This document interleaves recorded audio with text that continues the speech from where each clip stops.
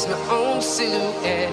I'm getting stronger, step by step. The clock is ticking, but there's no time for regrets.